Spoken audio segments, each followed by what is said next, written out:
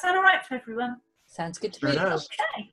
Super. Right, well, in case I'll start. Hi, I'm Carmilla Voiez. I'm here today with Vanessa Knipe, uh, Scott Carruba, and Paul Grover. We're all chatting about our writing processes, and um, hopefully, we'll find something useful out of it for each other, and maybe you will too. Okay, so I started off as a writer as a complete pantster. Um, a lot of my novels, my early novels, were written during NaNoWriMo. The only thing I cared about was making sure that I was writing a certain number of words each day. And then I left myself with the job of tidying it up at the end, which it worked, but it probably wasn't the best way to write things. And it did mean I got myself tangled up quite a few times into some knots that were difficult to untie. So I have started planning a lot more than I used to. I guess I'm somewhere in the middle there. Now, I think they call it a planster, so I'm going to call myself that. um, so what I'm doing first of all is I'm looking for ideas. Now, quite often ideas will just kind of fly up. Maybe I'll have a question about life that I want to answer, and I'll start writing from that point. Um, I'll talk about my ideas for a few of the novels, but you can get them from anywhere. I mean, scientific journals or books that you've read or folk tales. Um, it's it no, they are everywhere that you look. So for the ballerina and the revolutionary, my initial idea is very little like the finished novel. Um, I started with the mother of the person that the protagonist I called Crow, and it was very much about this schizophrenic woman who felt that she spoke to ghosts and saw ghosts and fell in love with a much younger man. Uh, with Starblood, it actually started with a scene with Lilith. Uh, I imagined a woman who was so strong, so powerful, um, that she could com- completely humiliate the stalker that was following her. So that's where that one started. And with Venus Virus, it was um, an idea about how it would look if women took over rather than men. So we ended up with a matriarchy. And my other one, it, well, what I'm writing right now, um, the secret of the secret lives of Melissa Powell, or Witch of Witchwood, or probably something completely different. Um, basically started with how would hierarchy look in an all-female space, and could you be in prison yet still be free? So that's kind of so a little bit more airy fairy, I suppose, the way I started with that one. But it was an idea, and that was all I was after at the time. So then I'll write a scene and use as many of the characters that I've uh, that I want to as I can.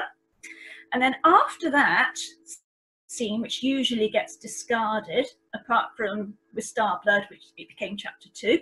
Um, after that, then I'm looking into any research I need to do. Uh, with a lot of them, I had to research quite thoroughly. Starblood, it was very much about all the magic that I was using in there. I wanted to make sure that it was sort of uh, magic that potentially could be real.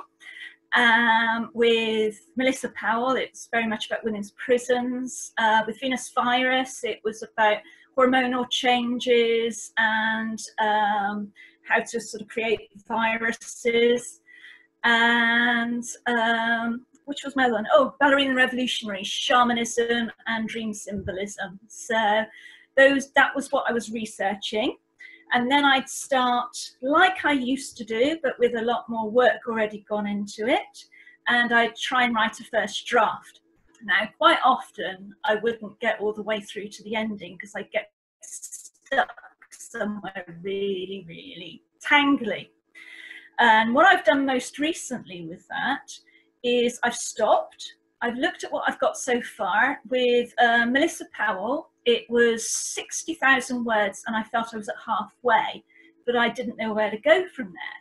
So I went back over it all. I ended up cutting about 20,000 words and restructured it completely. Originally, I had um, a prison guard story and then Melissa Powell's story, but I actually intermingled them so that they were running concurrently um, with alternate chapters and that really freed me up just looking at it from a different angle and getting rid of an awful lot of the repetition that accidentally found its way in there.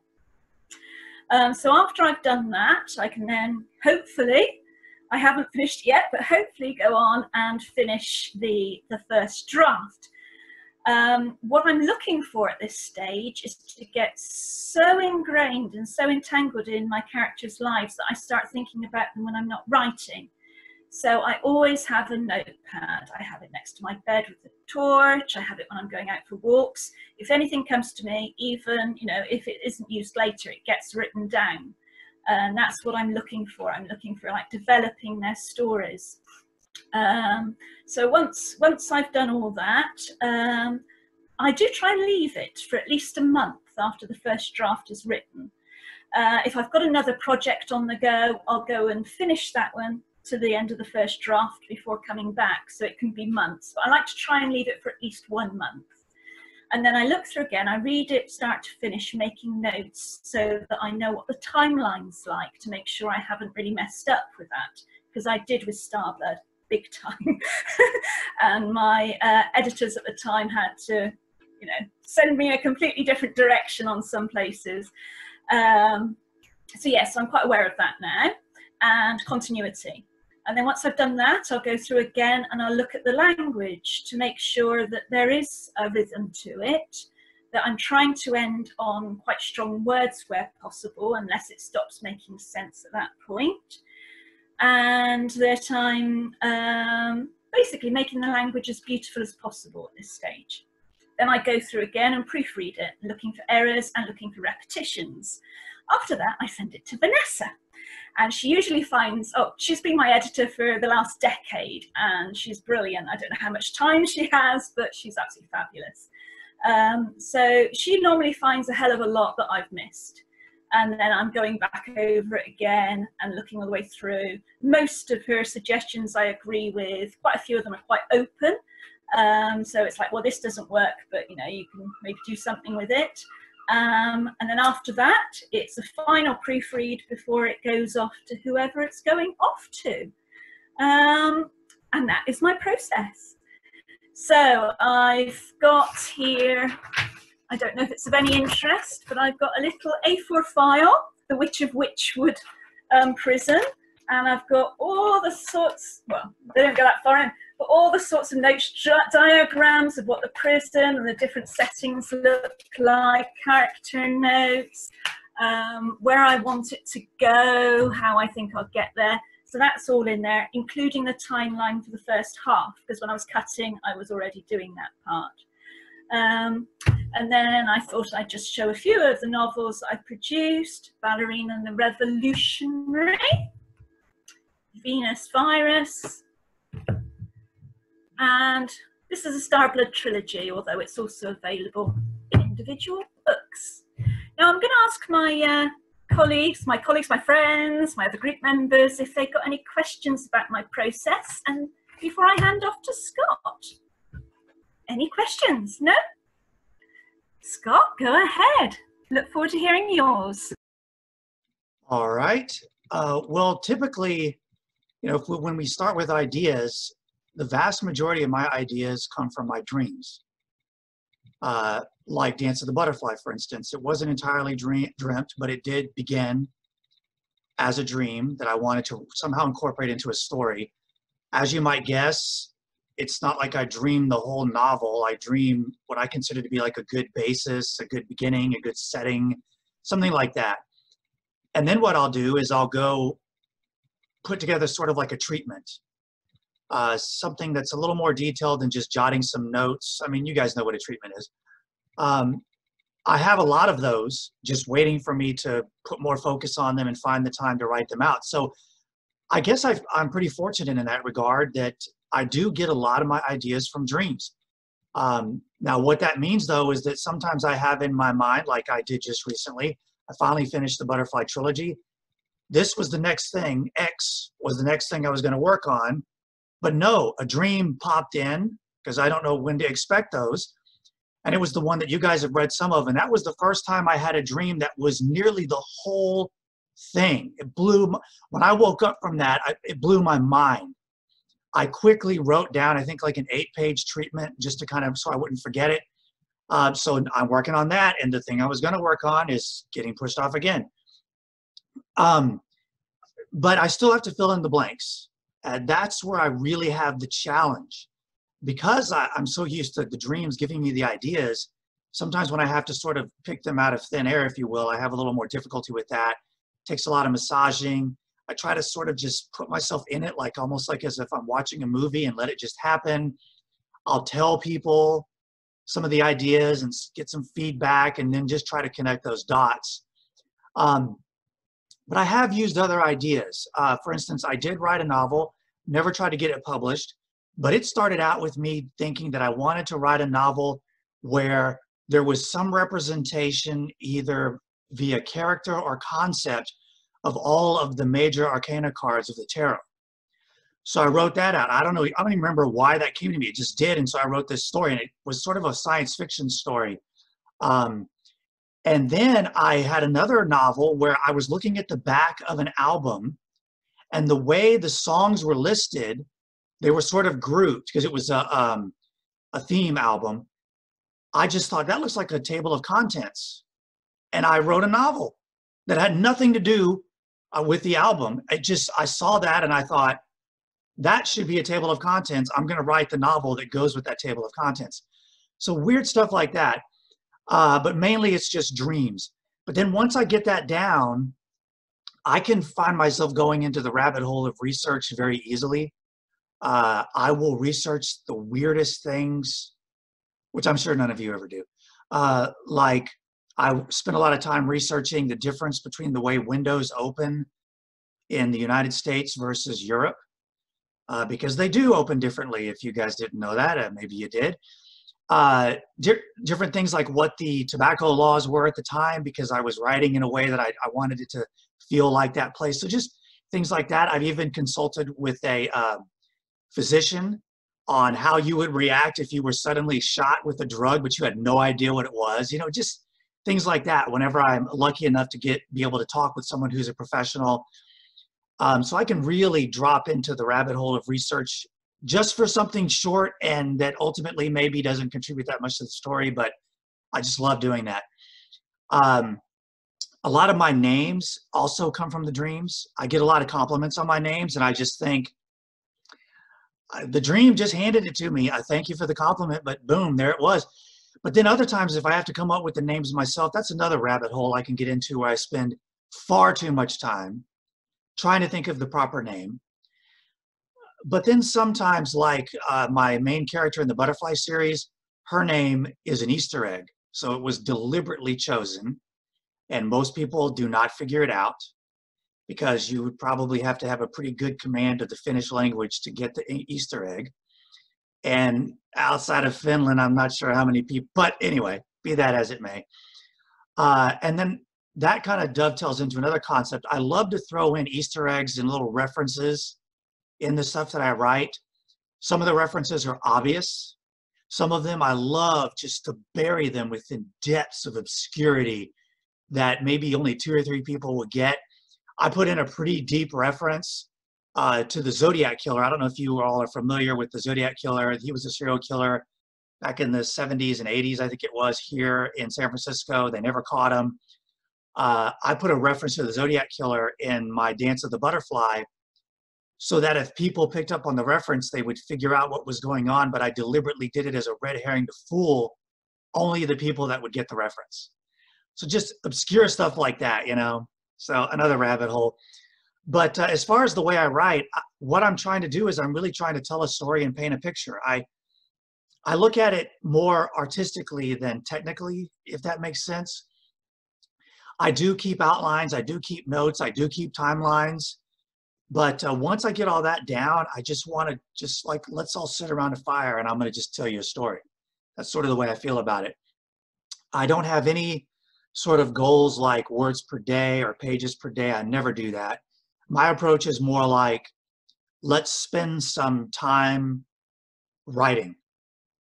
And if I only end up with 100 words, fine. If I end up with 5,000, great.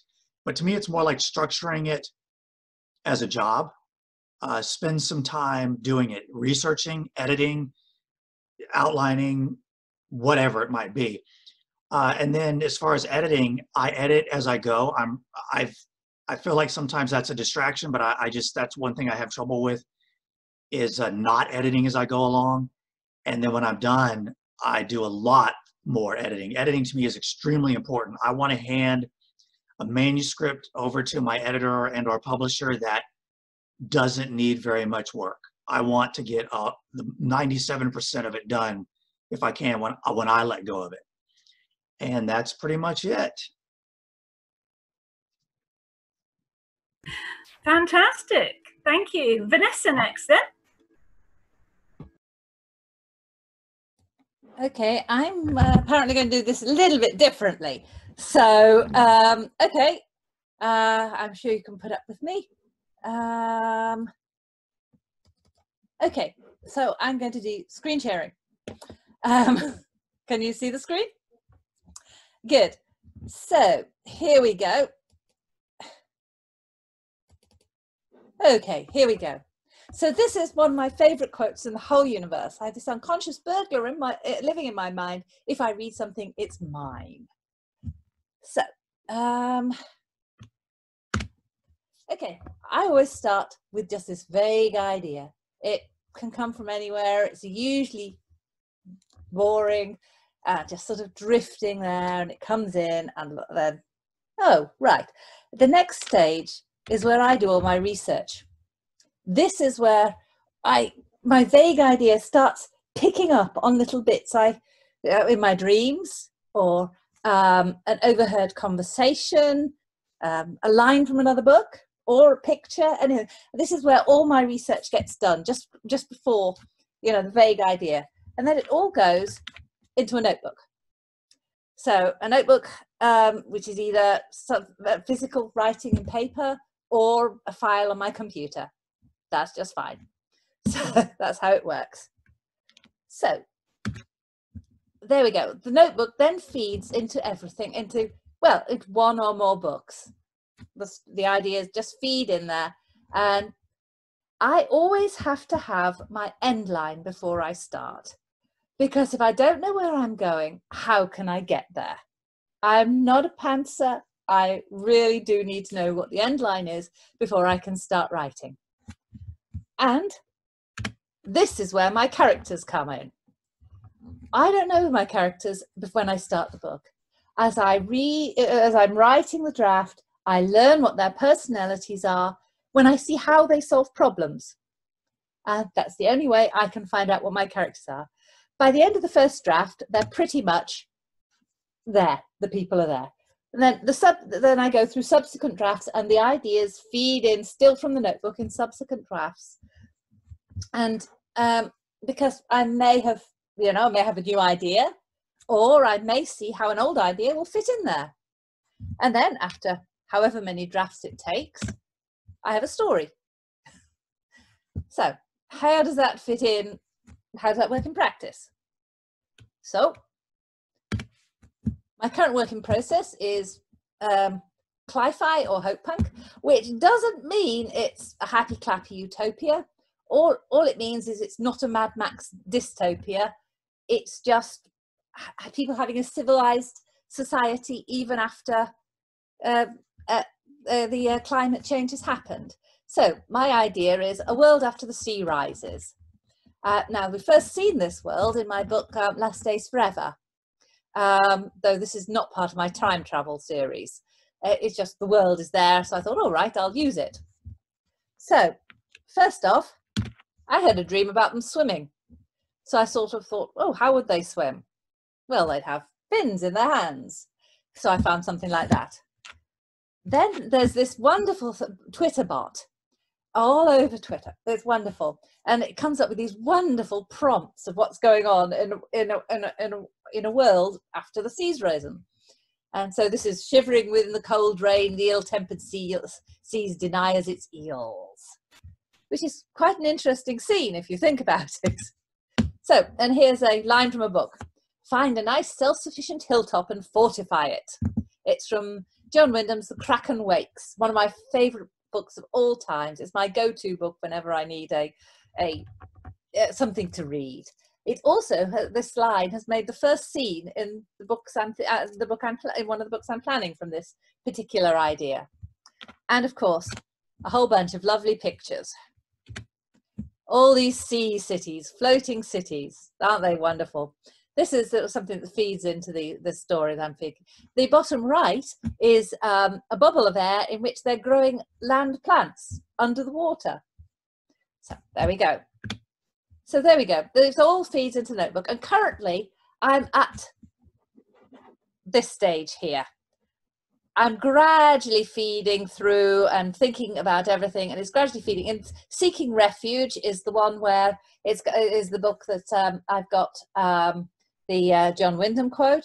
Is the first is the first scene in the in that book. It comes about John Wyndham, but you can see I have not got the end lines in either of them, so I haven't started writing. And that's my writing process, pretty much.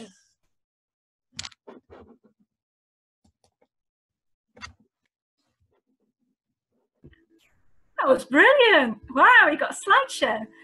Paul, what have you got for us? I'm going to have to start with a song, aren't I? I've got to say, The Kraken Wakes and The Chrysalids are two of my favourite books ever. I've read so much John Wyndham as a kid. In fact, I found The Kraken Wakes in my shed fairly recently. I don't know how it got out there, but it's now back on my bookcase. Anyway, um, my process. Um, I kind of my process is sort of still evolving in a lot of ways because working in one series i've not really had a chance to break out. Although i've worked in a couple of shorts and things like that the things i've learned along the way have kind of helped a little bit. So um when i started writing Ark of Souls it was one of those moments where i'd kind of been writing probably since my teens in sort of like isolated kind of ways. Um but pre-internet pre anything, not even knowing anyone else that wrote, you kind of run out of steam, you run out of ideas. Um, it, you just you saw no future, and, and, of course you get to the end of it, you think, well, what am I actually going to do with it? Um, it was only kind of in about 2010 or so. I, I read a book that was one of those. Oh, I can do better than that books. Um, I, I, wanted to read it. I loved it. I thought this is going to be great, but it kind of bugged me for about three or four years after that. Then, when I upgraded my computer, I was kind of bored one evening, and I started just trying to write stuff and just typed a scene which kind of became the basis for what became Ark of Souls. Um, the process for Ark of Souls was very disorganized because it was a case of knowing that I wanted to write something, but not necessarily knowing how to do it. So I kind of wrote wrote as I went along, and most of what came out got junked. It was true pantsing. I didn't know where I was going, what I was doing, but I knew it had to have structure.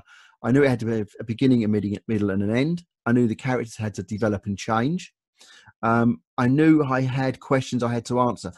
My original goal was just to write something that was kind of fluff in a way, kind of bubblegum. Just just open up, read from page one to page 300 and whatever, and it's not dealt with any big issues. It's not changed your life. It's just escapism at its best. So that was my aim. But as I started to write, I started to get a little bit deeper and a little bit darker in some areas, and I started finding it was making me ask questions. So after I'd kind of rewritten that one, um, and I think about three of the original chapters are all what made it into the the final version. Um, and so, so it was a lot, a lot of rewriting, and probably took me three years to get that far. Um, second book up, Ghost of the Vale, was a lot easier because I had a starting point and I knew where I was going with the series at that point. I'd kind of got a good idea of where the end of the series was and what was going to happen. I also had characters who had um, developed. So a, bit like Vanessa was saying, um, I had characters that had a starting point, and I knew a lot about them up to that starting point. But I needed to see how they were going to develop over interaction with each other and interaction with the story. You know, once you let the monsters loose, how they then react to the monsters. So I think that was that was a, a big starting point. Also, again, at that point, I joined a couple of writers groups. Probably this one most influential, influ- importantly, um, and um, that meant that I kind of realised actually fumbling in the dark is not the way forward. So I actually progressed quite well. And with, with that, I was writing each chapter with a plan for each chapter. So I'm in point A, I've got to get to point B. I'm not quite sure where point B is, but I know I've got to get there. So the chapters kind of structured themselves, and then the, stru- the chapters structured towards an end goal.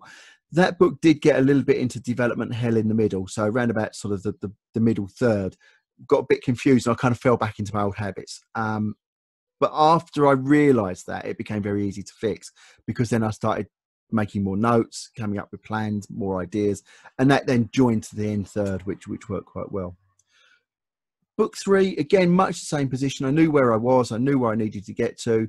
With that book, um, I pretty much had everything prepared in advance. I knew where we were going. I knew what we needed to do, and I had an idea of the aesthetic. I want to go back to that actually in a minute because I, I, did make some notes, but I've run out of paper, so um, I'm winging it. I'm panstering it.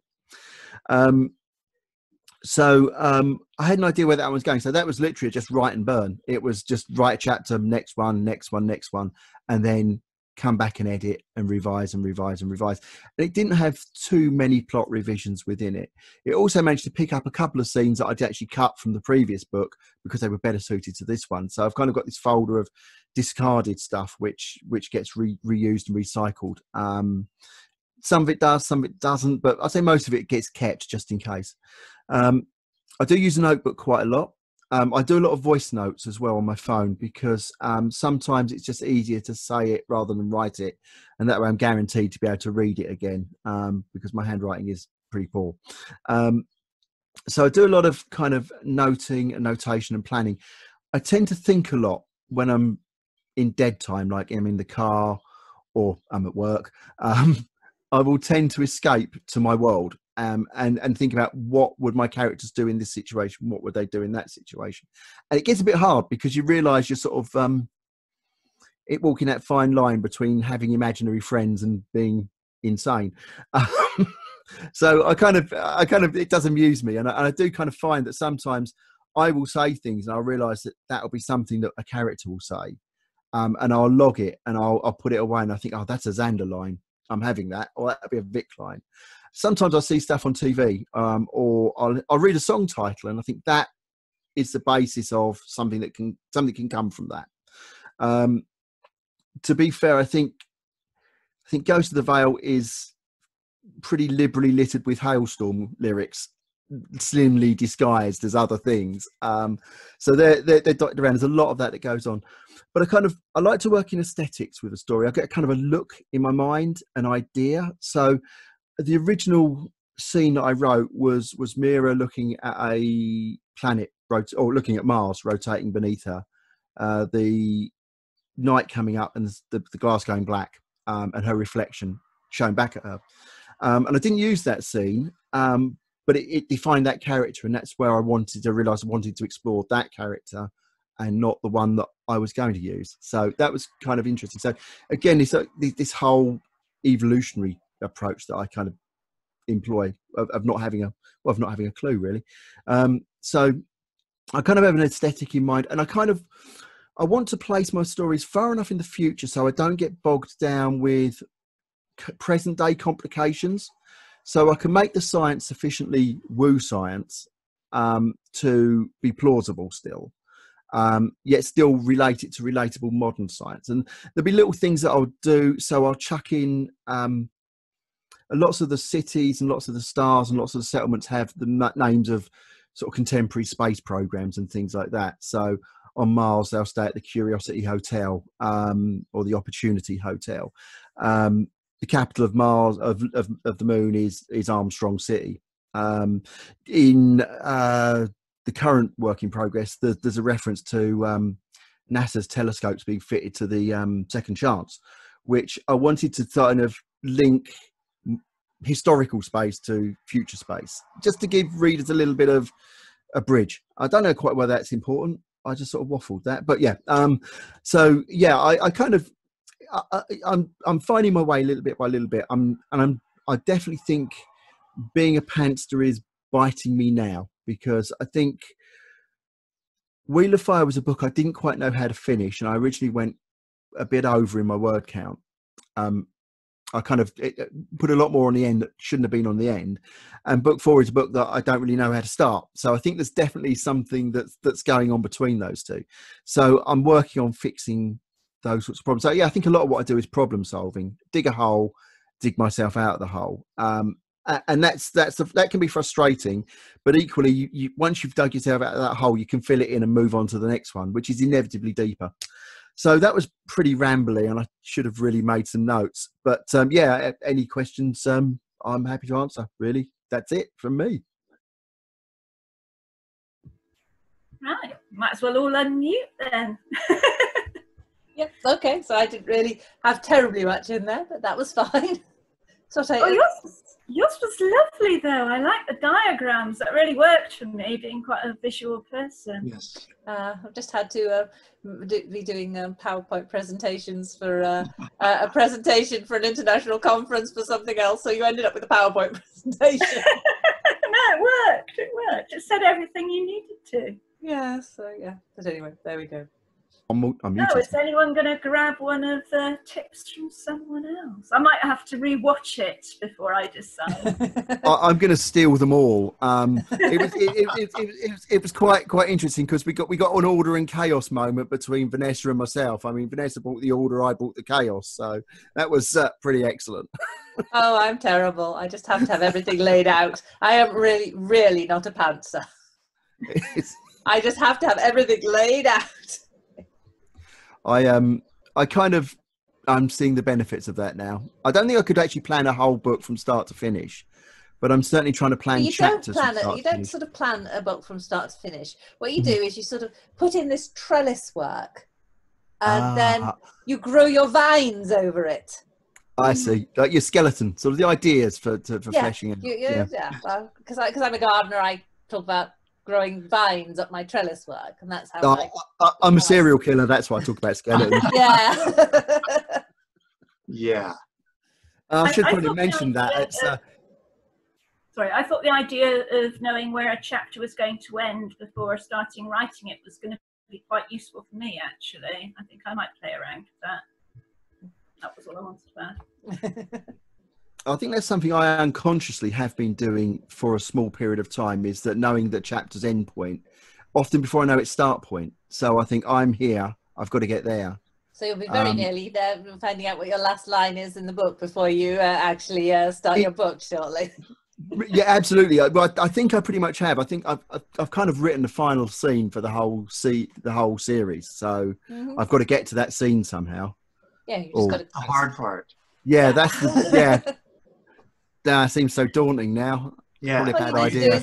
build a trellis, Yeah. build a bridge over there, and you'll find Yes. It's a it's a it's a novel idea. It, it turns out it was all the, the work of the amusement park owner. Um. Actually, with my uh, Starblood series, I've actually written what may or may not end up being the final scene, but I think it will be the final scene in book five, Pariah, and I've not really started book five, so okay. Final scene. I know That where blows that's my mind. It can properly end, and I won't go back to it. Honest. Uh-huh. Well, I'm quite interested in seeing where Pariah gets to. a trilogy, and now it's a five-book series, and no more. Maths aren't your strong point. No. Mind you, Trying to Douglas fit in four or five books into a trilogy. Yeah. Well, it worked for Douglas Adams, right? Oh yes, it did, didn't it? Yes, that's where I got it from. I told you I've got this unconscious burglar.